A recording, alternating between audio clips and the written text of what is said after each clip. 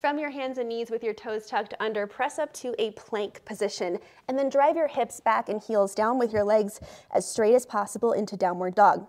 We're gonna alternate between downward dog and then rolling into a plank, slow and controlled, then driving back. However, we're not gonna do this mindlessly and make this easy.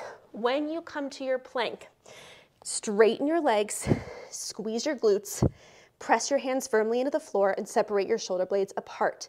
Brace your core. When I say brace your core, think about your rib cage wrapping in toward your midline as though you were wearing a corset. And I want you to think about if we're in this plank, that there is a very tall candlestick that is lit right below your belly button, okay? So you would not come forward and drop your hips.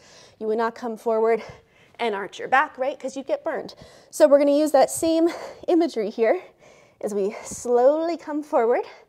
Squeeze your glutes, brace your core, hold for a moment, and press it back. I like the breathing of inhaling back to the downward dog and exhale.